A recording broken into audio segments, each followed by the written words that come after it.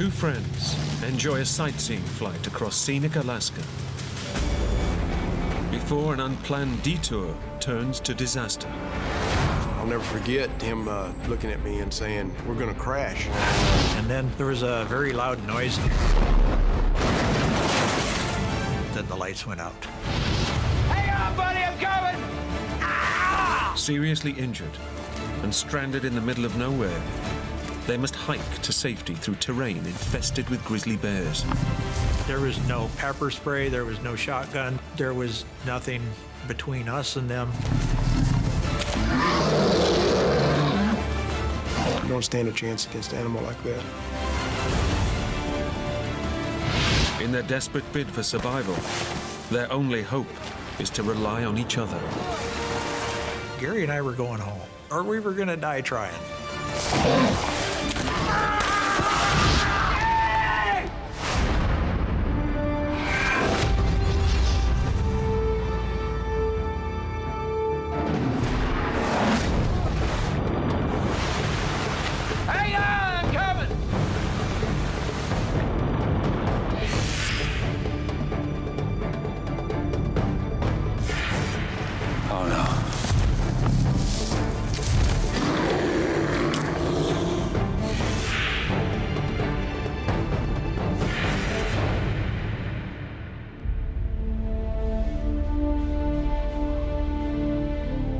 The Knik River Valley in southern Alaska, an area of untamed natural beauty, overlooked by the majestic Chugach mountain range. Its most famous feature is the spectacular 45 kilometer long Knik Glacier. All set, Stuart. Take the other strut, Gary. In nearby Palmer, two friends are getting ready for a sightseeing flight to the glacier. Okay, clear on this side. Taking the pilot's seat is Dave Akers, a veteran flyer with thousands of hours under his belt. I've been flying aircraft since uh, 1974. It's rewarding, it's challenging. Really love to fly. Oh man, this is what I'm really gonna miss. Texan Gary Knoll came north two years ago to work in Alaska's oil industry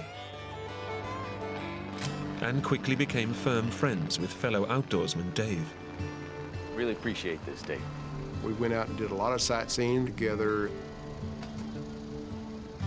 We both had a mutual uh, admiration for the outdoors. I would just jump at every opportunity I had to go fly with him. I really haven't known Gary all that long, but uh, you know, sometimes you just click. Dave's been teaching Gary the basics of flying, but this is their last lesson for a while. Gary and his family are returning home to Texas. Okay, Gary. Ready to go? Let's do it.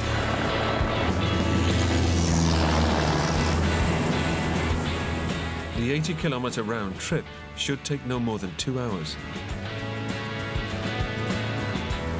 Dave and Gary plan to be back before dusk. We were in just real remote scenery, no power lines, no roads, no um, human intervention in the land at all. Alaska is uh, just beautiful. It's uh, called the last frontier, and it truly is the last frontier. There's just, you can get away from civilization very easily up there. The weather stays fine as they track the river southeastwards. And after an hour, they reach their destination, the stunning Knik Glacier.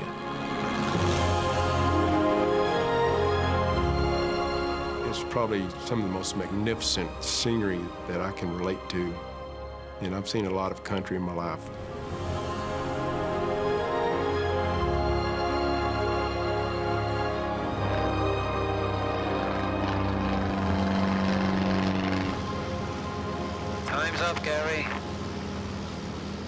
Eager to land the plane while it's still daylight, Dave turns for home. And as we headed back towards the airport, Hey, Dave, look over there. I remember glancing over to the my right shoulder and, and seeing this mouth of this valley just opening up to our right there. Let's go check it out. Dave has never noticed this valley before. Hey, come on, there might not be no next time. Okay. Intrigued, he descends to take a closer look. But what Dave doesn't know is that this is a notorious spot where over a dozen planes have crashed before. I had a lot of trust in the airplane and a lot of trust in my ability. Just wanted to kind of get a feel for the environment. 15 minutes later, Dave starts his climb out. The valley was back behind us. Remember Dave just giving it full throttle. We don't seem to be going up. I did a quick instrument scan and noticed that I was going down at 200 feet a minute. I thought something's not right. I immediately knew we were in a downdraft. The aircraft is caught in a column of rapidly descending cold air. Its 145 horsepower engine can't generate enough lift to overcome the powerful downward force. The plane is now plummeting towards the ground at over 10 meters per second.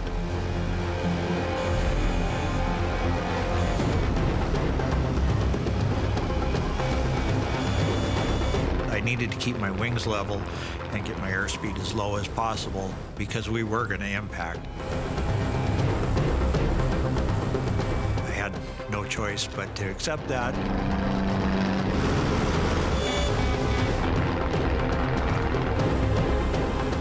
I'll never forget him uh, looking at me and saying, we're gonna crash.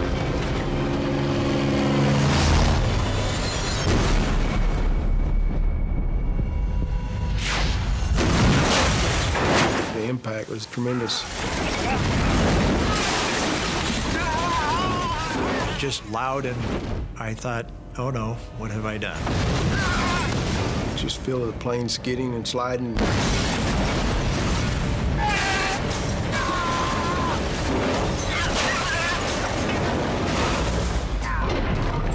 And then a big noise, and then the lights went out.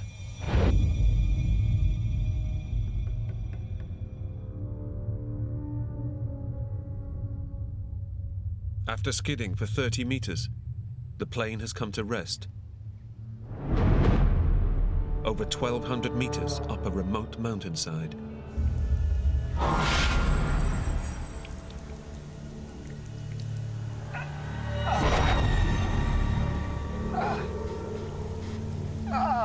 One of my first thoughts was, uh, here I am uh, covered in blood. I had a hard time focusing my eyes. Miraculously, both men have survived the crash. But Dave appears to be unconscious. I look around and I see Dave laid back in his seat and his eyes are just rolled up in his head. I'm thinking, man, this is not good. Dave. You hear me? I immediately start yelling at him and trying to get his, get his attention. Dave, talk to me, man. He was incoherent. But their injuries are not the only problem. Dave, Dave, we gotta get out. Gasoline was uh, just pouring out. The force of the impact has ruptured the plane's fuel tanks. Get the door. The wreck could catch fire and explode at any moment. Come on, man.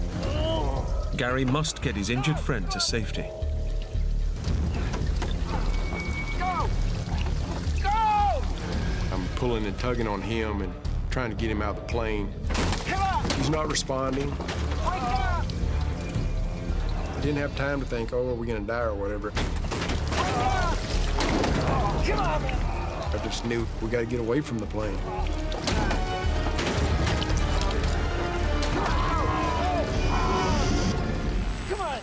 Just kept yelling at him, come on, Dave, we got to move. We got to get out of here. Gary finally manages to drag Dave clear of the wreckage and out of danger.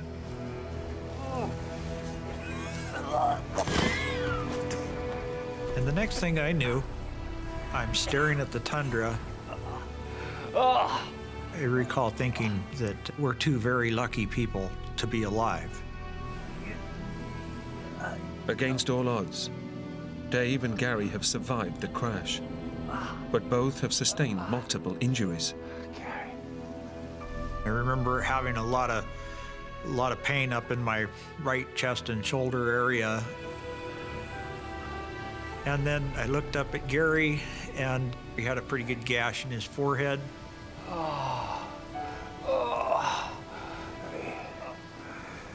He don't look good. I'm okay. Gary doesn't know it, but he has a serious skull fracture. Dave has broken two ribs and fractured his collarbone. We needed to get some help quick, but nobody knew where we were at. I immediately started to feel guilty for what I had done. Their unplanned detour means they're well off the usual flight path, and they've left their mobile phones back at the airfield. Their last hope is the plane's high frequency radio. But to reach it means braving the fuel soaked fuselage. The gasoline was still just pouring out of the plane. And uh, we just determined we had to take a chance. Gary grabs vital emergency gear, while Dave checks the radio. A single spark could ignite the fuel, turning the wreck into a lethal fireball. I reached over to the master switch.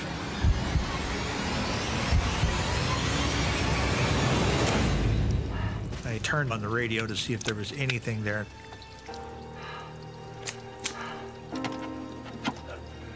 There wasn't any power. It was just dead.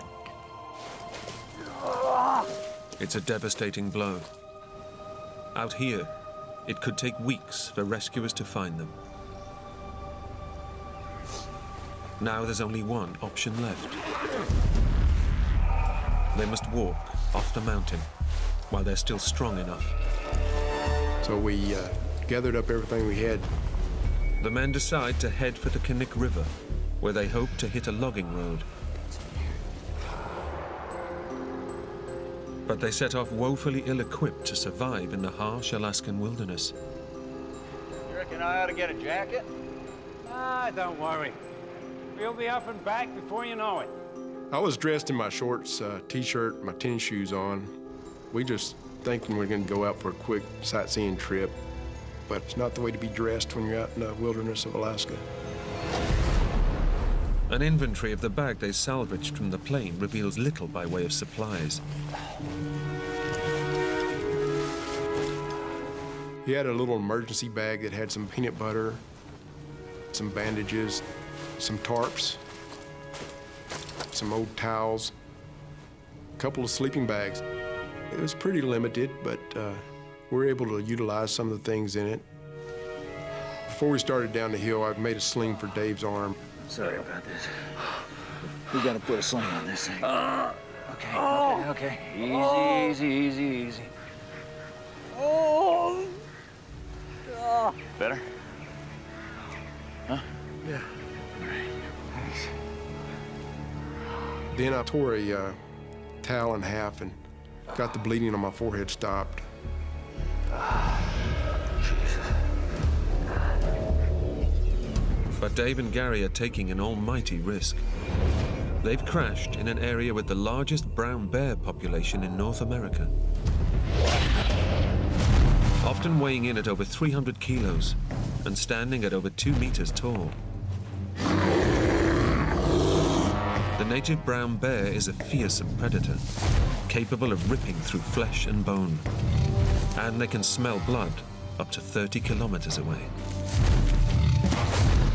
Here I am uh, covered in blood, Dave is injured, and uh, we're in bear country with no firearm. With 40 kilometers to cover to the nearest settlement, their chances of survival are slim.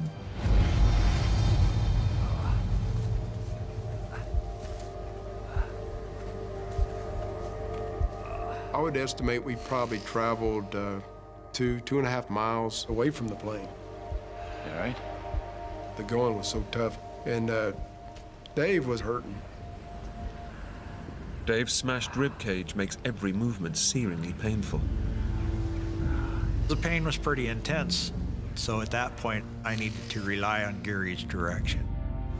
Here, above 1,000 meters, nighttime temperatures can drop below freezing. And as the sun begins to set, both men start to feel bitterly cold. We're looking for ways to stay warm. So we uh, made some makeshift ponchos. Yeah, yeah, yeah, yeah, yeah, yeah. Dave was uh, really struggling. We decided to stop for the night.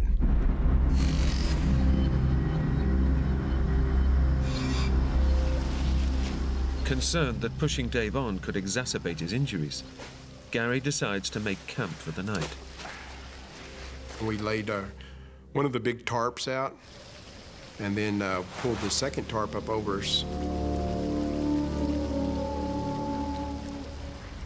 Dave and Gary desperately need rest, but they know that many of Alaska's fiercest animals come out to hunt at night. Wanted to really be just on alert, listening for bears. Weak, unarmed, and covered in blood, the men would be an easy meal for determined predators. Gary had had a bear encounter earlier that year where he actually had to shoot the bear. If he's going to come get you, he's going to come get you, and you're defenseless. Fearing for their lives, both men's thoughts turn to their families. We love our wives and we love our kids, and that's where we wanted to be. I could only imagine at that point they must have thought we were probably probably dead. We were so compelled to get off that mountain for that reason, just to let them know that we were all right. Gary and I were going home, or we were going to die trying.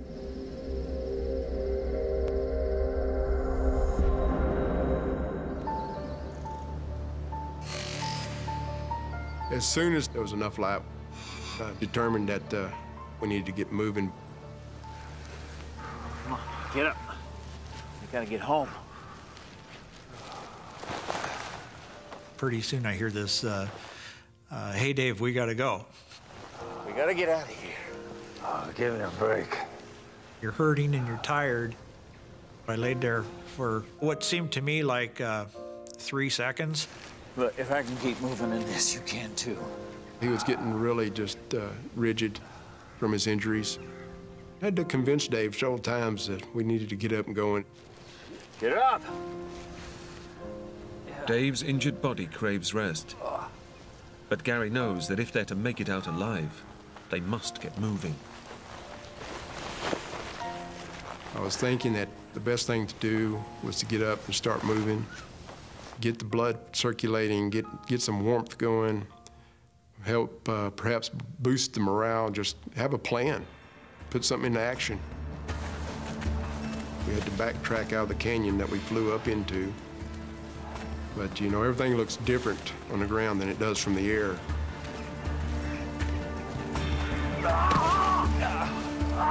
The going was so tough that Dave couldn't help from falling. I mean, he would fall on that shoulder several times and just grimace in pain.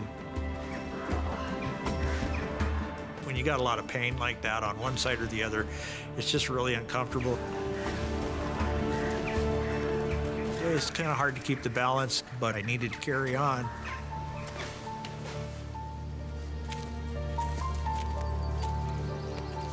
Dave and Gary hope that the Knik River will lead them back to civilization. But to reach it, they will have to navigate their way across 40 kilometers of treacherous terrain. My concern really started growing there because uh, you just don't know what's down in the alder brush. We had enough blood about us that I would have rather been a, um, a moving target to a bear than a sitting target to a bear. And then I spotted something moving off to our right, and I just froze. There was this huge grizzly. We were literally just feet away from it. Dave and Gary are now face to face with a 300 kilo grizzly bear. It's their worst nightmare. Don't stand a chance against an animal like that. Largest predator in North America. They're upwind of the grizzly, so it hasn't smelt them. Yet. But should the wind change, the scent of blood will surely attract this fearsome predator.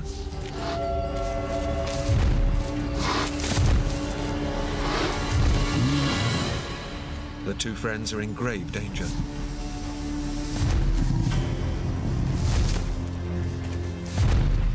Bear was just prowling back and forth. And then it turned back towards us. We are obviously in his territory and his domain. I thought to myself, hold still. I remember uh, Gary saying, Lord, help the bear to turn the other way. That's exactly what the bear did. We were so relieved when that happened. It just it was like we could breathe again, you know. We both looked at each other and said, This is not where we need to be right now. As quiet as possible. We sort of cut back at a 45 degree angle. We wanted to just put some distance between us and that bear.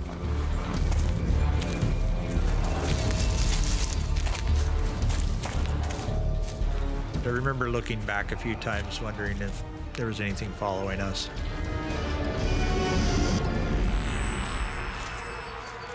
And then uh, we noticed a large area that had been stomped around. Oh no. It's fresh, isn't it? We were standing uh, just feet away from this moose kill. When a uh, grizzly kills a uh, moose, it'll it'll take it and bury it, let it rot a little bit. Seeing that moose's head and legs and stuff sticking out of the ground, that was not a good feeling right there at that point. Dave and Gary have accidentally stumbled into the heart of the grizzly's lair.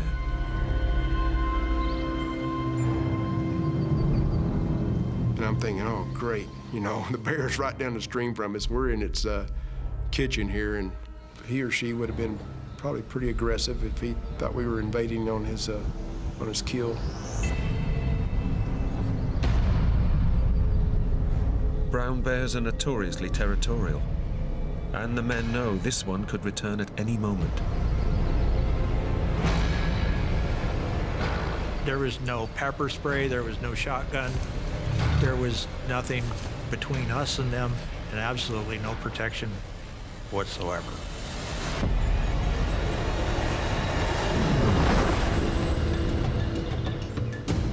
I'm thinking this bear's gonna come busting out of the woods any minute now.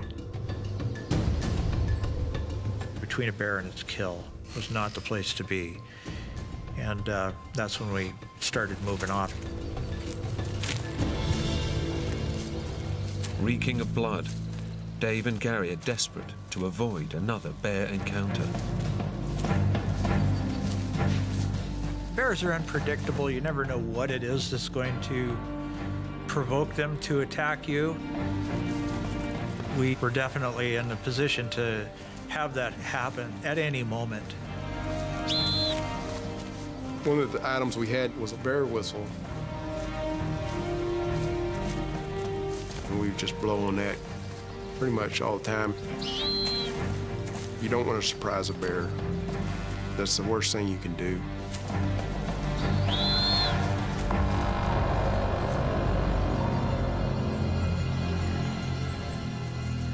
Your senses are really on high alert.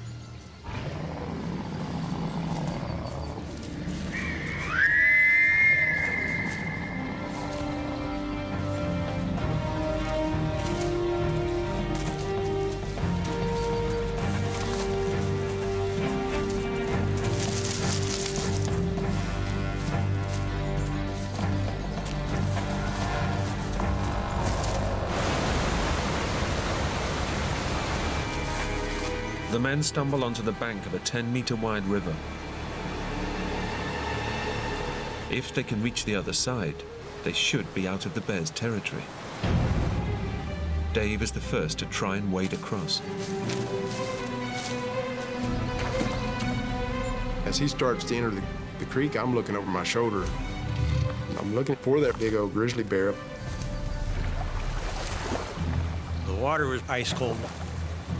Of course, the whole balancing act with the pack and the pain and and everything was was challenging. And then lost my footing and got pulled downstream. I turn around and look, and Dave's gone.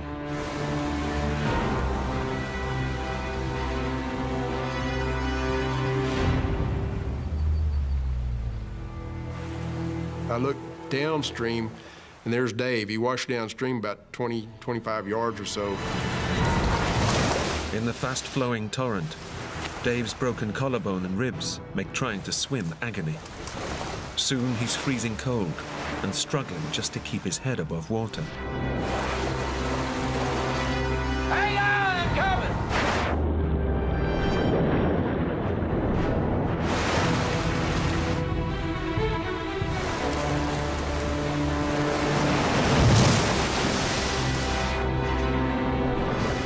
Dave manages to drag himself to shallow water. But on a day when the temperature is barely 4 degrees Celsius, his body temperature is plummeting. I'm thinking, great, this this is not good, you know. Now he's gonna get hypothermia. Come on, let's get you dried off. No, no, Gary said, you know, you need to wring out all your clothes. We've gotta get out of here. Dave decides that getting dry isn't their biggest concern. We're still within proximity of where we had just seen this bear, and I said, no, we'll just we'll just trek hard, and uh, I'll just try to body heat it out. Dave is risking hypothermia. Now, more than ever, the two friends need rescuing.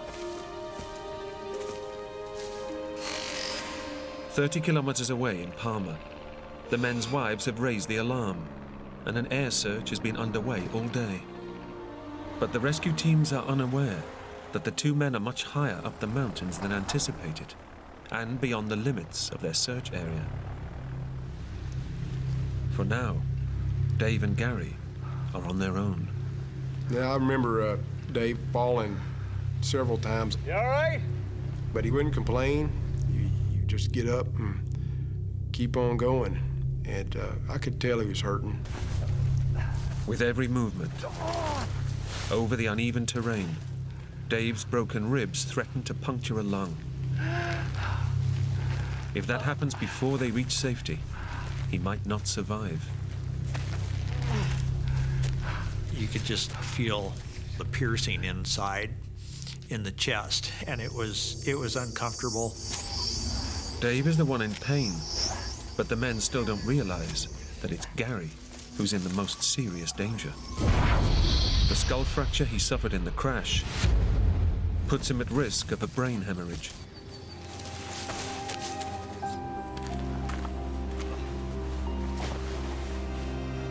We're hiking hard here, and we're sweating, and we're putting out energy, and it was just like you could never take on enough water. I was so thirsty, I didn't care if it was dirty. I didn't care what was in it. I was, I was determined to get some moisture in my mouth. And then we remembered we had a jar of peanut butter. The peanut butter they retrieved from the plane is a godsend. It's not much, but it gives the men a desperately needed boost. Peanut butter was always good to eat. You could feel a little pickup. Yeah, it was just like a shot of energy, so packed with protein and, and the sugars. It was the first time I'd probably eaten in well over 24 hours. And I, was, I remember how good that peanut butter tasted.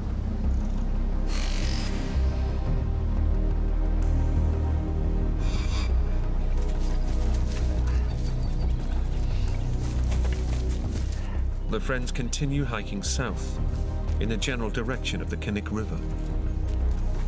That was a lot further journey than uh, what we'd imagined. Every time you come over a rise, you think it's going to be, we're going to see it. But the rough terrain and their worsening injuries make progress painfully slow. We carried on for a couple hours. Our bodies were uh, growing more and more exhausted at this point. And then I looked up. And we caught our first glimpse of the Knik River down below us. That was where we're trying to get to.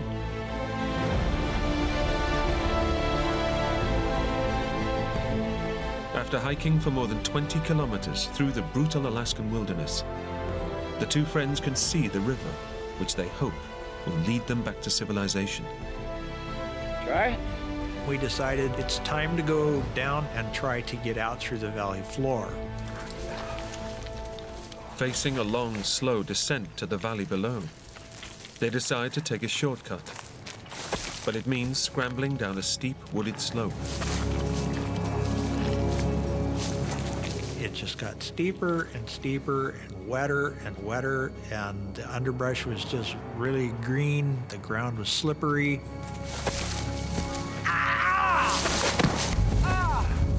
You had to be careful with every step because uh, you could really break an ankle or twist a knee.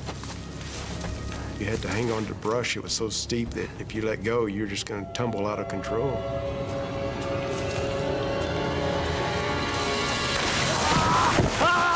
All of a sudden, my feet slipped out from underneath me, and I started sliding down the hill. Unable to stop himself, Dave is hurtling towards the edge of a 15 meter precipice. We're picking up speed. As the branches are going by, I'm reaching out with my arm.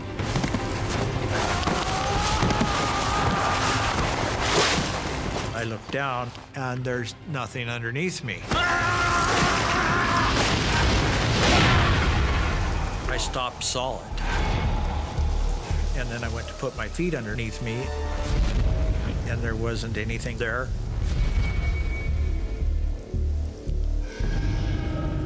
I looked down, and it was uh, another drop on down to the bottom.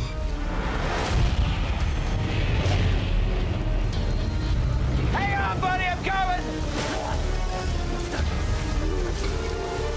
Finally, I pulled myself up until I could get my feet underneath me.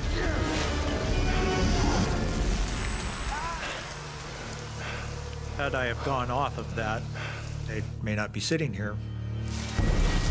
Uh, I realized that was probably the worst mistake of the whole journey.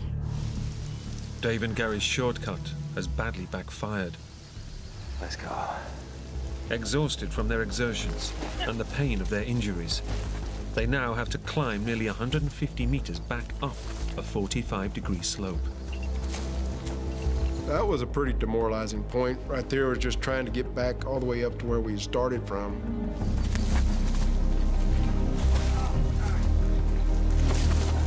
It was pretty steep. Dave is in a bad way. The fall aggravated his broken ribs, and now every breath is agony. I was just grasping for air.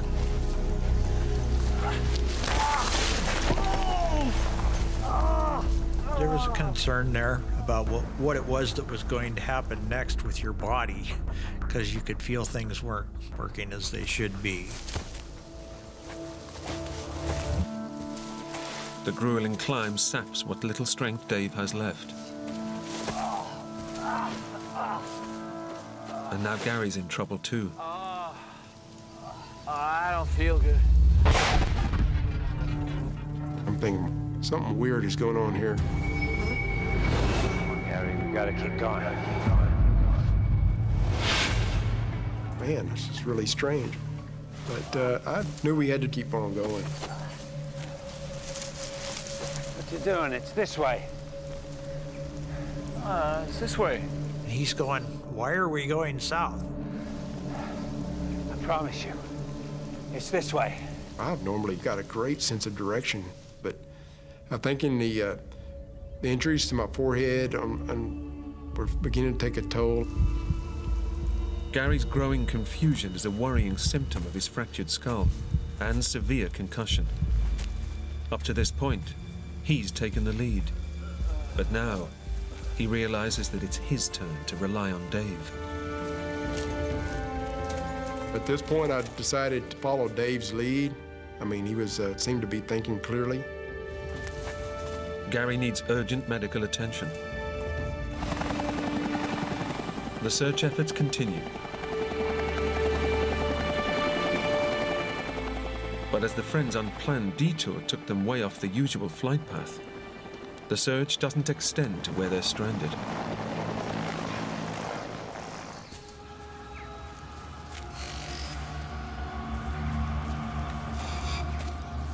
Twenty-four hours after the crash, Dave and Gary still haven't reached the Knik River, their route back to civilization.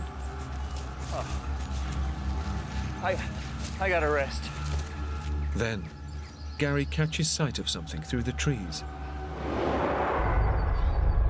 And then uh, I can remember seeing what I thought was a hunter.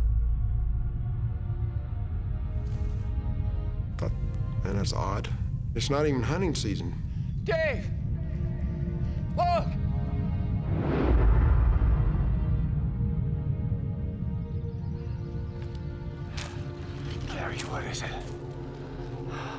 Saw a hunter.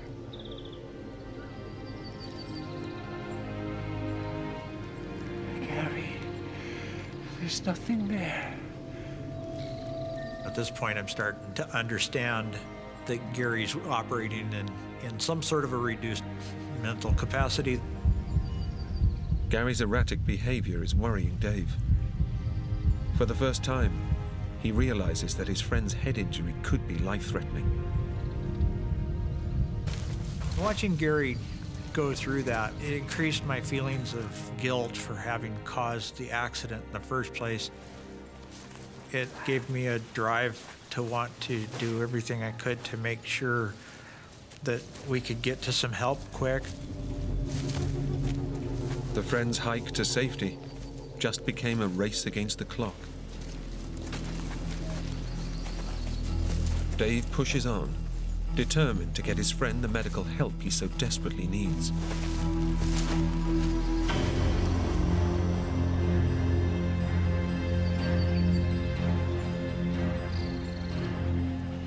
And I turned around and there was no Gary.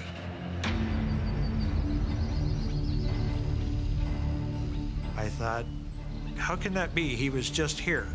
You know, where did Gary go? Gary has disappeared. His worsening head injury makes him completely reliant on his friend for survival. Dave retraces his steps, fearful of what he might find. I'm here, Gary. Come on. When I called him and he didn't answer, Come on. and I called him again and he didn't answer, that was a very low moment. If Dave can't find his friend, he will die.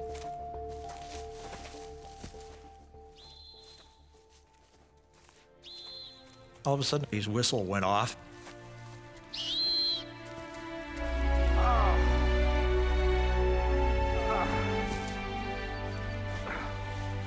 He had tripped and fallen in the brush. It was just amazing to see Gary again. I began to taper off, mainly due to the impact to my forehead, and I really began to hallucinate.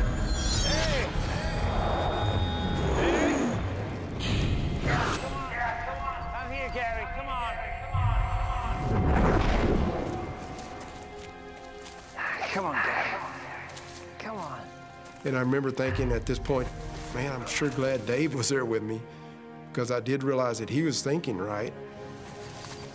The two men are tantalizingly close to the Knik River, their route map to civilization. Come on, keep going. But Gary's condition is getting worse with every step. He could slip into unconsciousness at any time.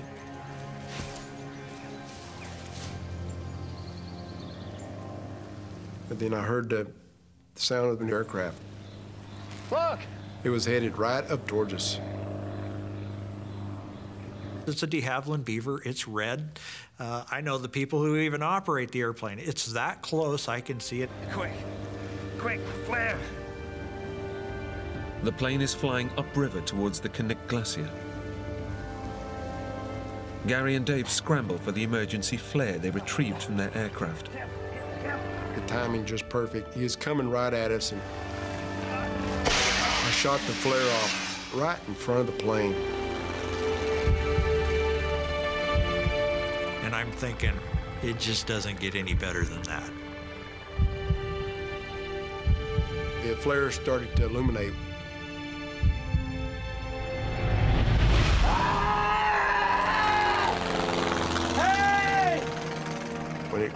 Got to its crest, the plane banked away 180 degrees away from us. He never so much as saw it.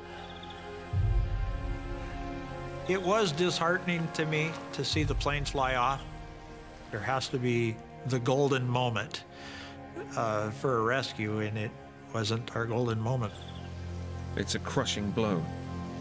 Gary's survival chances just took a major hit.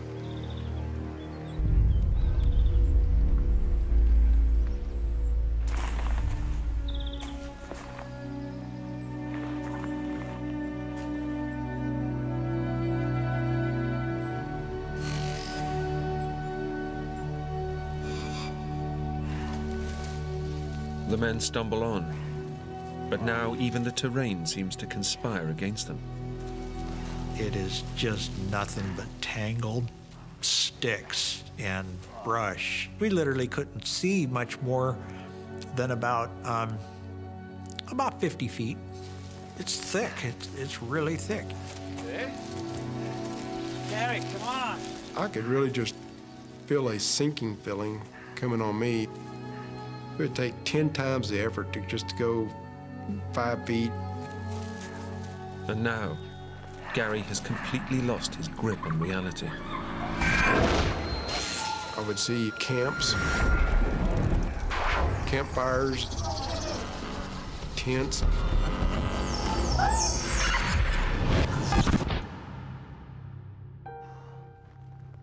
They would just uh, vaporize, they would just vanish. There was nothing there.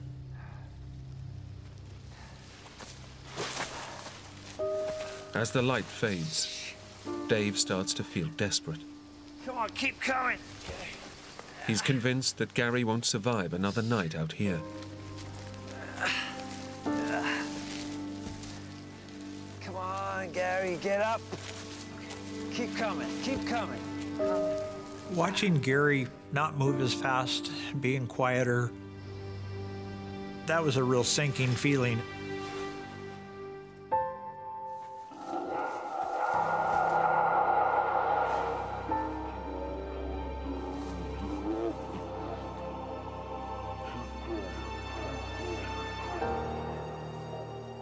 Quietly, I talked to God and prayed for our survival.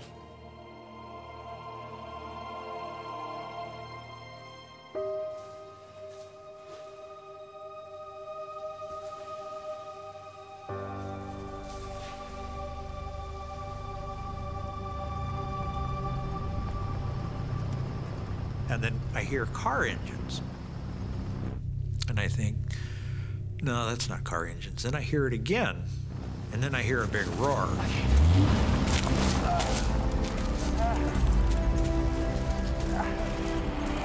And then uh, I see lights shining through the trees.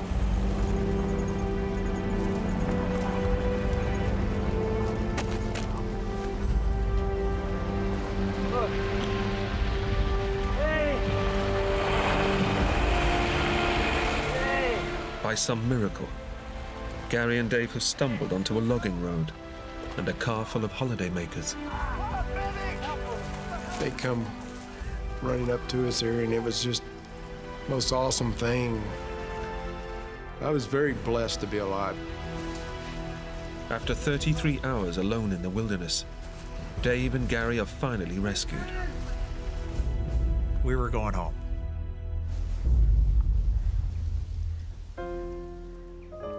It's remarkable that we survived the crash. It's remarkable that we were in physical condition to be able to walk out.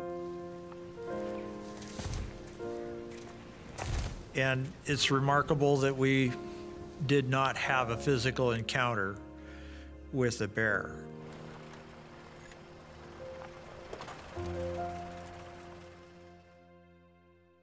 The men were rushed to hospital in Palmer, where doctors treated Gary's head injury. He was lucky not to need surgery, but it took him nearly six months to get over the effects of his fractured skull. An air search took two weeks to locate Dave's crashed plane. Despite his terrifying ordeal, Dave was back at the controls within two months. I'll continue to fly. I'll continue to love aviation um, very much. I, I don't see my life without it. In fact, Dave is renovating another aircraft to replace the one he lost on the mountain. I'm fortunate to be able to go on as a pilot. And I'll encourage others, including Gary. I hope that he continues on to get his pilot's license. The experience has made Dave and Gary's bond of friendship even stronger. Me and Dave have grown really close. You don't go through an experience like that, somebody and survive and not come out of it a lot closer. Could I have done this alone? I don't think so. I think that uh, if it wasn't for Gary being there, that um, I wouldn't be here.